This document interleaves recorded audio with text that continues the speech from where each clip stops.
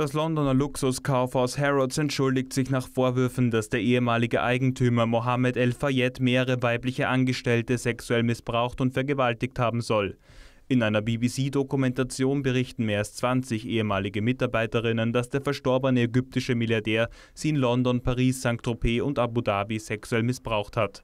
Die Vorfälle erstrecken sich über viele Jahre während Al-Fayeds Eigentümerschaft. Die Dokumentation, die am 19. September ausgestrahlt wird, behauptet, dass Harrods nicht eingegriffen, sondern die Missbrauchsvorwürfe während Al-Fayeds Zeit als Eigentümer zwischen 1985 und 2010 vertuscht habe. Alle Frauen, die mit der BBC sprachen, berichten von einem Klima der Einschüchterung und Angst am Arbeitsplatz. Die Opfer fühlten sich machtlos und hatten das Gefühl, dass niemand auf ihre Beschwerden reagiert. Harrods zeigt sich zutiefst entsetzt über die Anschuldigungen und entschuldigt sich mit einer Stellungnahme dafür, dass die Opfer im Stich gelassen wurden.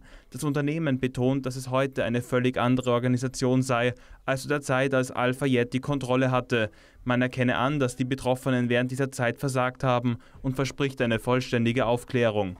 Medien wie Vanity Fair, ITV und Channel 4 deckten bereits in der Vergangenheit Missbrauchsvorwürfe gegen Al-Fayed auf. Viele der betroffenen Frauen trauen sich jedoch erst nach seinem Tod im letzten Jahr öffentlich über ihre Erlebnisse zu sprechen. Harrods versichert, dass es auch weiterhin für betroffene, aktuelle und ehemalige Angestellte eine Möglichkeit gibt, Ansprüche außergerichtlich zu klären.